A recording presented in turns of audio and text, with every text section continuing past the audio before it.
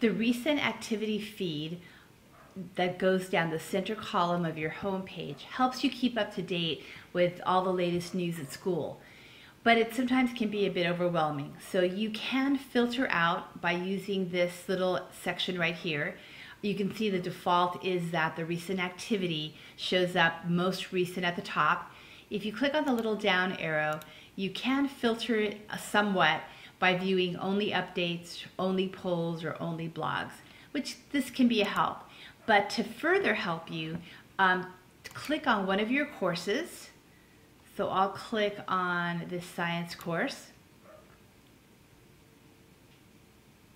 And the default is the um, content in the center section. So this is all of the assignments. But if I come over here to the left, I can click on updates. And uh, this will show me the updates that have been posted just for this course.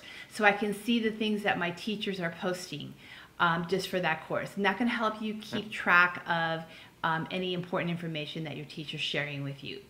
So hopefully that will help you with your recent activity feed.